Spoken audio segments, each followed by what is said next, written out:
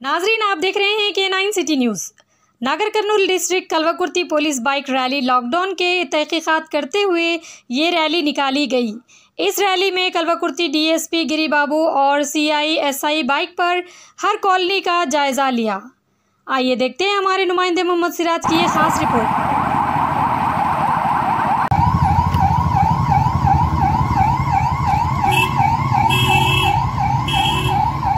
Left left left left left left